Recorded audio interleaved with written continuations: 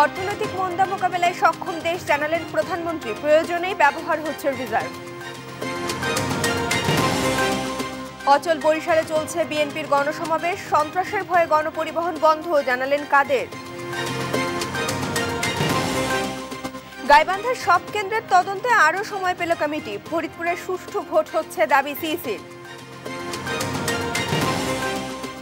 দেশে বত্রিশ শতাংশ মৃত্যুর কারণ পরিবেশ দূষণ, বিশ্বে অবস্থান ষষ্ঠ, বিপর্যস্ত হচ্ছে স্বাস্থ্য অর্থনীতি। বড় দুর্ঘটনার ঝুঁকিতে পুরান ঢাকার শতবর্ষী ভবন দেখার কেউ নেই, সুরক্ষার দাবি বিশেষজ্ঞদের। পাকিস্তানে ইমরানের মন্তব্যে অসন্তোষ সেনাবাহিনীর হামলার প্রতিবাদে পিটিআইয়ের বিক্ষোভ অব্যাহত। এবং বিশ্বকাপে ইংল্যান্ডের বিপক্ষে টস জিতে ব্যাটিংয়ে শ্রীলঙ্কা অ্যাডিলেডে কাল বাংলাদেশের প্রতিপক্ষ পাকিস্তান।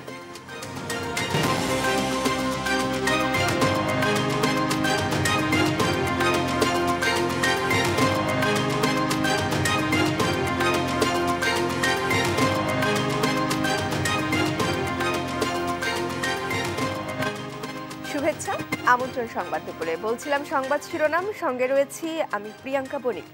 এবার পুরো সংবাদ। ইউক্রেন রাশিয়া যুদ্ধের কারণে বিশ্বে এখন সব কিছুর দাম ঊর্ধ্বমুখী। পরিস্থিতি সামাল দিতেই রিজার্ভ ব্যবহার করতে, করে চলতে হচ্ছে বলে জানালেন প্রধানমন্ত্রী শেখ হাসিনা। সংকট মোকাবেলায় উৎপাদন বাড়ানোর পাশাপাশি সঞ্চয়ী হওয়ার আহ্বানও জানিয়েছেন সরকার প্রধান। জাতীয় সমবায় দিবসের অনুষ্ঠানে এসব কথা বলেন প্রধানমন্ত্রী। হাসান সাব্বির জানাচ্ছেন বিস্তারিত। জাতীয় সমবায় দিবস ও সমবায় পুরস্কার প্রদান অনুষ্ঠান। বঙ্গবন্ধু আন্তর্জাতিক সম্মেলন কেন্দ্রে আয়োজিত অনুষ্ঠানে গণভবন থেকে ভার্চুয়ালি যুক্ত হন প্রধানমন্ত্রী শেখ হাসিনা। প্রধানমন্ত্রী বলেন, ইউক্রেন রাশিয়া যুদ্ধের প্রভাবে সারা বিশ্বে দেখা দিয়েছে খাদ্য সংকট। জ্বালানি সংকটে ব্যাহত হচ্ছে বিদ্যুৎ উৎপাদন। ইউক্রেন যুদ্ধ এবং স্যাংশনের কারণে আমাদের বিদ্যুৎ উৎপাদনে যথেষ্ট বেগ পেতে হচ্ছে। আমরা গ্যাস নিজস্ব গ্যাস যেটুকু ব্যবহার করতে পারছি অতিরিক্ত গ্যাস যেটা আমরা ক্রয় করতাম অতিরিক্ত মূল্য বৃদ্ধি পাওয়ার এবং পরিবহনে বাধাগ্রস্ত হওয়াতে বিশেষ করে তেল সে সব কিছু একটা বাধা হচ্ছে। তো আমি আশা করি যে আমরা এই অবস্থা থাকবে না। আমরা সোলার প্যানেল দিচ্ছি। দেশের প্রয়োজনে সরকার রিজার্ভ ব্যবহার করছে জানিয়ে সরকার প্রধান বলেন পৃথিবীর অন্যান্য দেশও তাই করছে। কিন্তু আমাদের দেশে সকলকে একটু সঞ্চয়ের দিকে নজর দিতে হবে এবং প্রত্যেকেই উৎপাদন কারও এতটুকু জমি যেন মানে পড়ে না থাকে সেদিকে বিশেষভাবে দৃষ্টি দেওয়ার জন্য আমি অনুরোধ জানাচ্ছি। পরিস্থিতি মোকাবেলায় মিতব্যয়ী হয়ে সঞ্চয় বাড়াতে সবার প্রতি আহ্বান জানান প্রধানমন্ত্রী। উৎপাদন বাড়ানো এবং সঞ্চয় করা যাতে করে এই অভিঘাত থেকে আমাদের দেশের মানুষ রক্ষা পায় সেই ব্যবস্থাটা নিতে হবে। আমাদের দেশের সার্বিক উন্নয়নে সমবায় একটা সব থেকে গুরুত্বপূর্ণ ভূমিকা রাখতে পারে, যেটা জাতির পিতা চেয়েছিলেন। অনুষ্ঠানে দশটি বিভাগে নয়টি সমবায় সমিতি ও একজন সমবায়কে পুরস্কার দেয়া হয়। Hasan Shabbir, news desk, Desh TV. বরিশালে বিএনপির বিভাগীয় গণসমাবেশ চলছে। বঙ্গবন্ধু উদ্যানের অস্থায়ী মঞ্চে সকাল এগারোটার দিকে সমাবেশ শুরু হয়। পূর্ব ঘোষণা অনুযায়ী দুপুরের দিকে এই সমাবেশ হওয়া শুরু হওয়ার কথা ছিল, তবে নেতাকর্মীরা চলে আসায় নির্ধারিত সময়ের কয়েক ঘণ্টা আগেই শুরু হয় গণসমাবেশ। সকাল থেকেই সমাবেশ স্থলে জড়ো হতে শুরু করেন তৃণমূল নেতাকর্মীরা। এখনও খণ্ড খণ্ড মিছিল নিয়ে বিভিন্ন স্থানে থেকে আসছেন কর্মীরা। স্লোগানে স্লোগানে মুখর করে তুলছেন তারা। শুরু দিকে বক্তব্য রাখছেন স্থানীয় নেতারা। তারা বলেন, সব বাধা উপেক্ষা করেই বরিশালে নেতাকর্মীদের ঢল নেমেছে।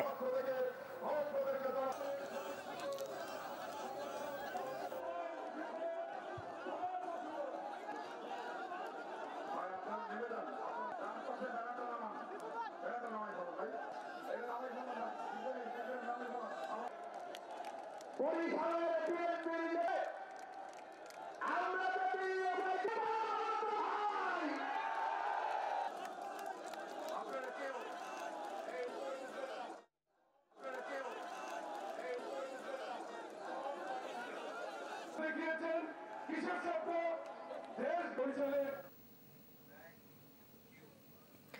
বরিশালে রয়েছেন আমাদের সহকর্মী রাহাত খান। সম্মেলনের সবশেষ খবর জানতে টেলিফোনে যুক্ত হচ্ছেন তিনি। রাহাত সম্মেলনের সবশেষ কি তথ্য রয়েছে এই মুহূর্তে আপনার কাছে?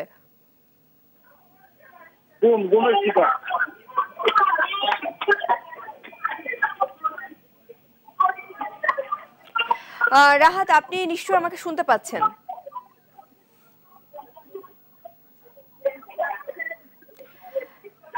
রাহাত, আমি আপনার কাছে যে বিষয়টি জানতে চাইছিলাম যে এই মুহূর্তে সম্মেলনের সবশেষ কি তথ্য রয়েছে আপনার কাছে? নগরীর বঙ্গবন্ধু যে স্থলে, সেখানে এই মুহূর্তে বক্তব্য দিচ্ছেন গত কয়েক বছর আগে নিখোঁজ অথবা গুম দুই ছাত্র কর্মতার মা, অর্থাৎ কালু এবং নিয়াজের মা, তিনি কেন্দ্রনত অবস্থায় বক্তব্য রাখছেন। এর আগে স্থানীয় নেতৃবৃন্দ এখানে বক্তব্য রেখেছেন। কিছুক্ষণ পরে জাতীয় নেতৃবৃন্দ বক্তব্য রাখবেন। বরিশালের এই বিভাগীয় গণসমাবেশে প্রধান অতিথি হিসাবে উপস্থিত রয়েছেন দলের মহাসচিব মির্জা ফখরুল ইসলাম আলমগীর। এছাড়া এবং এছাড়া আরও অন্যান্যের মধ্যে দেখা যাচ্ছে এখানে বিএনপির সভাপতি আবুল আহ,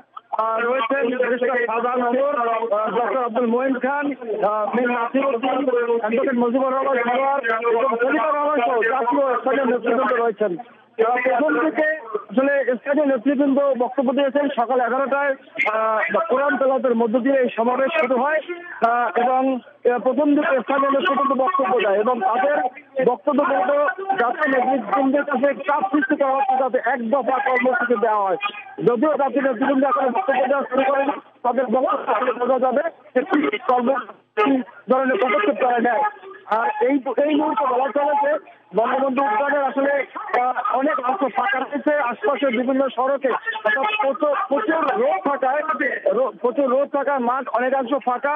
আশপাশের গাছের নিচে বিভিন্ন রাস্তায় নেতাকর্মীরা অবস্থান নিয়েছেন। এখনও দেখা যাচ্ছে যে বিভিন্ন স্থান থেকে ক্ষুদ্র ক্ষুদ্র মিছিল আসছে এবং তারা স্লোগান দিয়ে মিছিল আসছে তারা স্লোগানের ভাষা হচ্ছে হই হই, রই রই মানত ভাই তুই গেলি কই? এবং আরও একটি তারা স্লোগান দিচ্ছে, সেটি হচ্ছে ভোট চুরি নিয়ে। ভোট কথা হচ্ছে যে, এখানে যারা সমাবেশে রয়েছেন, তাদের অনেকের সাথে আমার কথা হয়েছে। তারা বলছেন যে, দ্রব্যমূল্য অত্যাধিক মানে বেড়েছে। এবং দেশে আইনের শাসন নেই, মানুষের অধিকার বলতে কিছু নেই, মূলত তারা তাদের যে অধিকার, সেটি প্রতিষ্ঠা এখানে এসেছেন। আমার সাথে গত কয়েকদিনে কথা হয়েছে যে তারা নিজের নিজের করে নিজের টাকায় এই সমাবেশে এসেছেন এবং তাদের একটাই দাবি যে সেটি হচ্ছে যে কেউ বলছেন যে বেগম জিয়ার মুক্তি চায়, কেউ বলছেন যে নির্দলীয় সরকারের দিকে নির্বাচন চায়, কেউ দ্রব্যমূল্যের নিয়ন্ত্রণ চায়, সবকিছু মিলিয়ে যে সরকার বিরোধী বিভিন্ন দাবিতে আজকের এই সমাবেশ তারা এসেছেন বলে আমাদেরকে জানিয়েছেন। আর একটি বিষয় যে সমাবেশ স্থলে মোবাইল এবং ইন্টারনেট নেটওয়ার্কের প্রচুর বিভ্রাট হচ্ছে, বিশেষ করে অনেক ইন্টারনেট পাওয়া যাচ্ছে না, মোবাইল নেটওয়ার্ক খুব একটা পাওয়া যাচ্ছে না। তো যারা সমাবেশে অংশগ্রহণ করে তাদের তাদের সমাবেশ যাতে গণমাধ্যম কিংবা সামাজিক যোগাযোগ মাধ্যমে প্রচার বা প্রচারিত হতে না পারে, মূলত সেজন্যই উদ্দেশ্যমূলকভাবে নেটওয়ার্ক বন্ধ করা দেওয়া হয়েছে। আর সমাবেশ স্থলে স্থলে কোনো পুলিশ বা আইন শৃঙ্খলা বাহিনী সমাবেশ করতে না। তবে আশপাশের বিভিন্ন সড়কে বিপুল সংখ্যক পুলিশ মোতায়েন রয়েছে। তাদের বক্তব্য হচ্ছে, যদি বিএনপি শান্তিপূর্ণ সমাবেশ করে, সেক্ষেত্রে তারাও নিশ্চুপ থাকবে। আর যদি বিএনপির তরফ থেকে কোনো ধরনের বিশৃঙ্খলা সৃষ্টি করা হয়, তাহলে কঠোরভাবে সেটি আইনগতভাবে তারা মোকাবেলা করবে। তো এই ছিল সমাবেশ স্থল থেকে। আপনার কোনো পরবর্তী প্রশ্ন থাকলে আপনি করতে পারেন। রাহাত, আপনাকে ধন্যবাদ। দর্শক, আমাদের সাথে টেলিফোনে যুক্ত ছিলেন আমাদের সহকর্মী রাহাত খান। জানাছিলেন বরিশালে বিএনপির বিভাগীয় গণসমাবেশ সম্পর্কে সবশেষ তথ্য। দেশে মহা দুর্যোগের নাম বিএনপি। এই মন্তব্য করেছেন আওয়ামী লীগ সাধারণ সম্পাদক ওবায়দুল কাদের। বরিশালে গণপরিবহন বন্ধের বিষয়ে তার দাবি, এটি বিএনপির আগুন সন্ত্রাসের ফল। আর বিএনপির জনসভাকে স্বাগত জানিয়ে দলের প্রেসিডিয়াম সদস্য জাহাঙ্গীর কবির নানক সমাবেশে লাঠি মিছিল না করার অনুরোধ জানান। তৌফিক মাহমুদ মুনার রিপোর্ট। আওয়ামী লীগের কুমিল্লা মহানগর শাখার প্রথম সম্মেলন। জাতীয় পতাকা উত্তোলন ও দলীয় সঙ্গীতের মাধ্যমে কুমিল্লা টাউন হলে শুরু হয় সম্মেলনের আনুষ্ঠানিকতা। সম্মেলনের প্রধান অতিথি আওয়ামী লীগের সাধারণ সম্পাদক ওবায়দুল কাদের আগামী দিনে রাজনীতি নিয়ে নেতাকর্মীদের দিক নির্দেশনা দেন। বলেন বিএনপির টাকার বিনিময়ে লোক ভাড়া করে সমাবেশ করছে।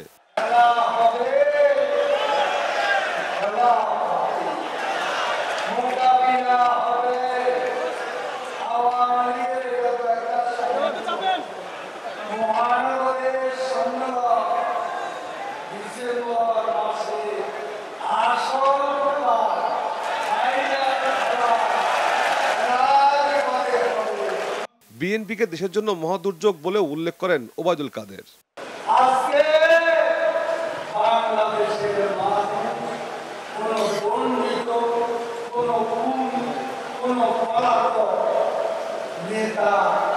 আপনারা তাদের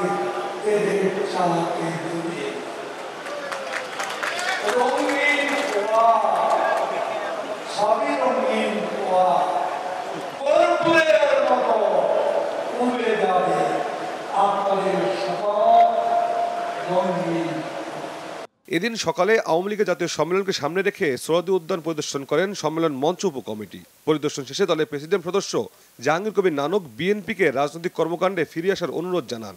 আমরা স্বাগত জানাই বিএনপিকে। কিন্তু আমরা একটি কথা বলতে চাই যে বিএনপিকে মনে রাখতে হবে যে কোনোভাবেই কোনো সন্ত্রাস অগ্নিসন্ত্রাস আহ, য- যদি করে লাঠি নিয়ে মিছিল করে এই লাঠি মিছিল এগুলি বন্ধ করতে হবে। সর্বোপরি হলো যে রাজনীতিতে একটা শিষ্টাচার রয়েছে। বিএনপির অতীতের আগুন সন্ত্রাসের কারণে বাস মালিকরা পরিবহন বন্ধ রেখেছে বলেও জানান জাহাঙ্গীর কবির নানক। Topic Mahmud Munna, Desh TV, Dhaka. গাইবান্ধা পাঁচ উপনির্বাচনে অনিয়মের বিষয়ে তদন্ত প্রতিবেদনের এক তৃতীয়াংশ হাতে পেয়েছেন বলে জানিয়েছেন প্রধান নির্বাচন কমিশনার কাজী হাবিবুল আওয়াল। তবে সব কেন্দ্রের প্রতিবেদন পাওয়ার পরই সিদ্ধান্ত দেবে কমিশন। সিইসি জানান, এজন্য তদন্ত কমিটিকে আরও এক সপ্তাহ সময় দেওয়া হয়েছে। আর ফরিদপুর দুই আসনের উপনির্বাচনের বিষয়ে তিনি জানান, এখন পর্যন্ত সুষ্ঠুভাবেই চলছে। এ পর্যন্ত একশো তেইশটি কেন্দ্রে আটশো ছয়টি ইভিএমে এক হাজার বাহান্নটি সিসি ক্যামেরায় মনিটরিং করছে নির্বাচন কমিশন। অনিয়ম একেবারেই আমরা দেখছি না। আমরা প্রথম থেকে পর্যবেক্ষণ করা হচ্ছে খুবই পিসফুল পরিবেশে নির্বাচন হচ্ছে এবং ভোটার উপস্থিতি কেমন আমরা চট করে এখন বলতে পারব না। আমরা রিপোর্টগুলো দেখেছি, কিন্তু আমরা একটা সিদ্ধান্ত নিয়েছি, ওই রিপোর্টের কোনো বিষয়ে কোনো মন্তব্য করছি না। আমাদের সিদ্ধান্ত হচ্ছে টোটাল গায়বান্ধার যে নির্বাচন, ওর উপরে আমরা সমন্বিত সিদ্ধান্ত গ্রহণ করব। ফরিদপুর দুই আসনের উপনির্বাচনে ভোট গ্রহণ চলছে। সকাল আটটা থেকে ভোট গ্রহণ শুরু হয়ে একটানা চলবে বিকেল চারটা পর্যন্ত। নির্বাচনে প্রতিদ্বন্দ্বিতা করছেন আওয়ামী লীগ প্রার্থী শাহাদাব আকবর লাবু চৌধুরী ও বাংলাদেশ খেলাফত আন্দোলন মনোনীত বটগাছ প্রতীকের প্রার্থী অ্যাডভোকেট জয়নুল আবেদিন বকুল মিয়া। ভোট গ্রহণ হচ্ছে ইভিএমে সংসদ উপনেতা সৈয়দা সাজেদা চৌধুরীর মৃত্যুতে এই উপনির্বাচন অনুষ্ঠিত হচ্ছে। এই আসনে মোট ভোটার তিন লাখ আঠারো হাজার চারশো বাহাত্তর জন।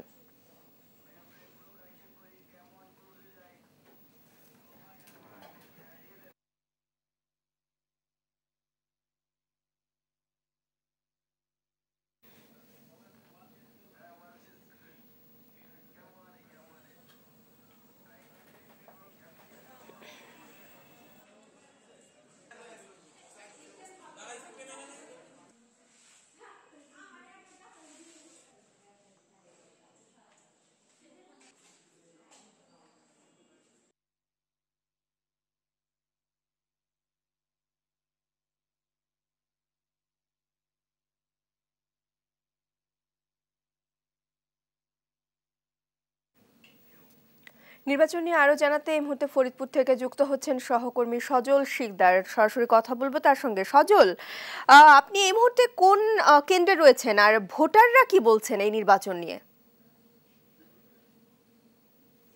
হ্যাঁ প্রিয়াঙ্কা, আপনি যেটা বলছিলেন যে এই ফরিদপুর দুই আসনের উপনির্বাচনের ভোট গ্রহণ সকাল আটটা থেকে কিন্তু শুরু হয়েছে ইভিএম এর মধ্য দিয়ে এবং সকাল আটটা থেকে কিন্তু আমরা জানিয়ে যাচ্ছি দর্শকদের যে আসলে এই সকাল আটটা থেকেই কিন্তু ভোটের যে ভোটাররা যে ভোট দিতে একেবারেই আসছেন না বলা চলে। এখন দুইটা বাজে দুইটা পর্যন্তও কিন্তু আসলে ভোটের খুব একেবারেই ভোটাররা কেন্দ্রে আসেন নাই বলা চলে। আমি এই মুহূর্তে দাঁড়িয়ে আছি লস্করদিয়া সরকারি প্রাথমিক বিদ্যালয় কেন্দ্রে যেখানে ভোটার রয়েছে দুই হাজার দুইশো বাইশ জন কিন্তু দুইশো দশ জন ভোটার মাত্র দুইশো দশ জন ভোটার কিন্তু তাদের ভোটাধিকার প্রয়োগ করেছেন বলে জানিয়েছেন আমাদের এই এই কেন্দ্রের যিনি প্রিজাইডিং অফিসার আবুল কালাম আজাদ।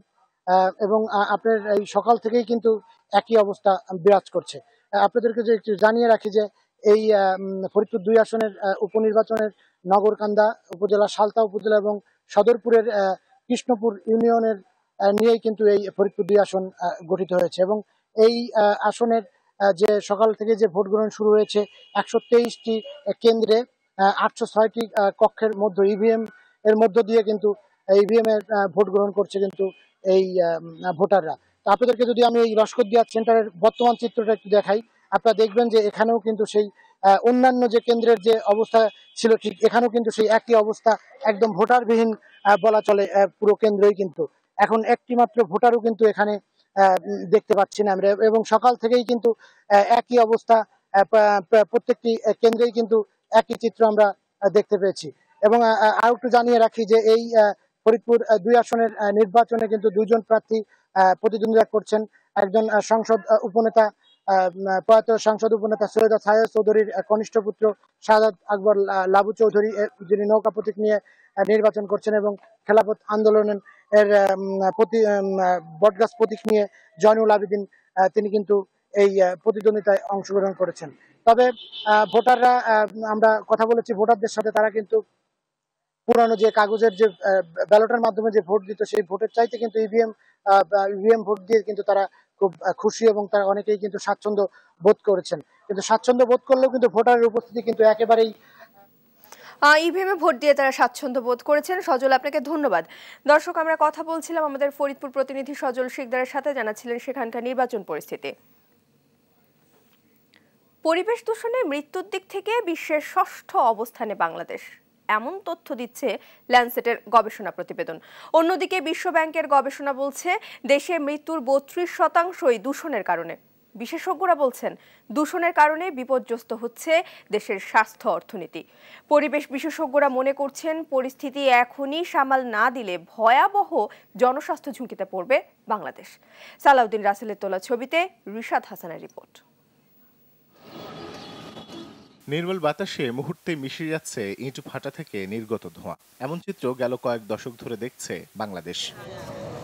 বুয়েটের গবেষণা বলছে, বর্তমানে ছাপ্পান্ন শতাংশ বায়ু দূষণের জন্য দায়ী ইট ভাটা। এর বাইরে রয়েছে আরও অসংখ্য কারণ।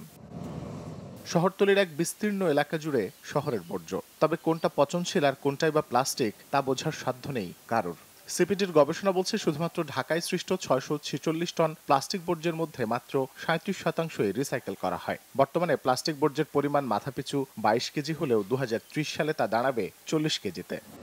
এর বাইরে দেশ জুড়ে পরিবেশ দূষণের নানান চিত্রের দেখা মেলে। পানি, মাটি কি বায়ু? কাউকেই যেন ছাড় দেওয়া হয়নি। বিশ্বব্যাংক ও ল্যান্ডসেটের গবেষণা বলছে, দূষণের জন্য মৃত্যু হয় বত্রিশ শতাংশ। এই তালিকায় বিশ্বে ষষ্ঠ অবস্থানে আছে বাংলাদেশ। শুধুমাত্র দুহাজার উনিশ সালে দূষণজনিত কারণে মৃত্যু হয়েছে দুই লাখের বেশি। স্বাস্থ্য অর্থনীতি বিশেষজ্ঞরা মনে করছেন, দূষণের এমন চিত্রের কারণে যে ক্ষয়ক্ষতির পরিমাণ দাঁড়াচ্ছে, তা প্রভাব ফেলছে দেশের জিডিপির ওপর। এমনি এনসিডিজের পরিমাণ আমাদের বেশি এবং সেখানে মরণ বেশি হচ্ছে এবং সেখানে আপনাদের কিন্তু খরচও বেশি হচ্ছে এবং বিশেষ করে করনিক এনসিডিজ। সেই করনিক এনসিডিজ কিন্তু আরও লাফিয়ে লাফিয়ে বেড়ে যাবে। সো স্বাস্থ্যের পরিমাণটা কোথায় খরচের পরিমাণটা কোথায় যাবে সেটা তো বুঝতেই পারছেন যে এটা বিশাল অঙ্কে। পরিবেশ বিশেষজ্ঞরা মনে করেন সরকারি পর্যায়ে দায়িত্বশীল কোনো কার্যকরী পদক্ষেপ না নেয় দিনকে দিন বেড়েই চলেছে এই দূষণ। আমাদের মাননীয় প্রধানমন্ত্রী সবসময় কিন্তু পরিবেশ নিয়ে কথা বলেন কিন্তু বাকিরা কি করছে? কেউ কি তাদের নিজের দায়িত্ব সঠিকভাবে পালন করছেন? আমার দৃষ্টিতে করছেন না। সেটা পরিবেশ মন্ত্রণালয়ে বলি পরিবেশ অধিদপ্তরে বলি বা অন্যান্য যাদের এটা করার কথা তারাও কিন্তু এটা করছে না। কৃষি মন্ত্রণালয় শিল্প মন্ত্রণালয় প্রত্যেকের কিন্তু এখানে দায় আছে। দ্রুতই সমস্যা নিরসনে কার্যকরী উদ্যোগ না নিলে ভয়াবহ জনস্বাস্থ্য ঝুঁকির সংখ্যা বিশেষজ্ঞদের। এক গবেষণায় বলা হচ্ছে শুধুমাত্র বায়ু দূষণের ফলেই ঢাকা মহানগরীতে স্বাস্থ্য খাতে অতিরিক্ত ব্যয় হয় একশো চুয়াল্লিশ কোটি মার্কিন ডলার। এবং যে মোট ক্ষয়ক্ষতির পরিমাণ দাঁড়ায় তা ছশো বাষট্টি কোটি মার্কিন ডলার, যা মোট জিডিপির তিন দশমিক চার শতাংশ। এ কারণে বিশেষজ্ঞরা বলছেন, দূষণ প্রতিরোধে এখনই যদি কার্যকর কোনো পদক্ষেপ গ্রহণ করা না হয়, তবে ভয়াবহ জনস্বাস্থ্য ঝুঁকিতে পড়বে বাংলাদেশ। রিশাদ হাসান, দেশ টিভি, ঢাকা। ঐতিহ্য সুরক্ষার অভাব আর ঝুঁকিতে রয়েছে পুরান ঢাকার শতবর্ষী ভবনগুলো। দেখভালে যেন কেউই নেই। ভুতুর এইসব ভবনে আবার জীবনের ঝুঁকি নিয়েই বাস করছেন বহু মানুষ। যে কোনো সময় ঘটতে পারে ভয়াবহ দুর্ঘটনা। বিশেষজ্ঞরা বলছেন, এইভাবে চলতে থাকলে ধ্বংসের নগরে পরিণত হতে পারে পুরান ঢাকা। তাই ভবনগুলো সুরক্ষার জোর দাবি তাদের। আনোয়ার হোসেনের রিপোর্টে দেখুন বিস্তারিত। ইতিহাস ঐতিহ্যের সাক্ষী হয়ে আজও দাঁড়িয়ে আছে পুরান ঢাকার শতবর্ষী ভবনগুলো। কালের পরিক্রমায় জলু হারিয়ে এখন অস্তিত্ব সংকটে মুঘল স্থাপত্যশৈলী নিদর্শনগুলো এখন বড় ঝুঁকির কারণ। দু হাজার আঠারো সালে আরবান স্টাডি গ্রুপ ইউএসজির করা একটি রিট আবেদনের পরিপ্রেক্ষিতে ঢাকার ঐতিহ্যবাহী দু হাজার দুশোটি ভবন সংরক্ষণের নির্দেশ দেয় হাইকোর্ট। কিন্তু দীর্ঘ সময়েও ইতিহাসের অংশ এই স্থাপনাগুলোকে সংরক্ষণে নেওয়া হয়নি কোনো উদ্যোগ। তাই কালের পরিক্রমায় এগুলো দিন দিন হয়ে উঠছে ঝুঁকিপূর্ণ। দু হাজার চার সালের জুন মাসে শাখারীবাজারে তিনতলা এক পুরনো ভবন ধসে উনিশ জন নিহতের ঘটনায় স্তম্ভিত করে সব মহলকেই। আর দু হাজার উনিশ সালে পাটুয়াটুলিতে শতবর্ষী ভবন ভেঙে বাবা ছেলের মৃত্যু ছিল মর্মান্তিক। দৃশ্যটি দেখে অন্ধকার মনে হলেও এখন ঠিক মধ্য দুপুর। পুরান ঢাকার শতবর্ষী ভবনের এই গলিতে ঠিক উপরেই বেশ কয়েকটি পরিবারের বসবাস। অরক্ষিত এই ভবনগুলোতে এখনও ঝুঁকি নিয়ে বাস করছে বহু মানুষ। পরিতত্ত্ব বাড়ির মতনই। যে যে রুমে থাকতেছে দখল মনে করে থাকতেছে। নাই থাকার মতো অন্য জায়গায়। সে কারণে এখানে থাকা। এখানে কোনো কোনো লোক আছে বিশ বছর তিরিশ বছর পঁয়ত্রিশ চল্লিশ বছর পর্যন্ত আর। নিরুপায় হয়েই থাকি ভাঙ্গা চোরা বাড়ি। কী করুম?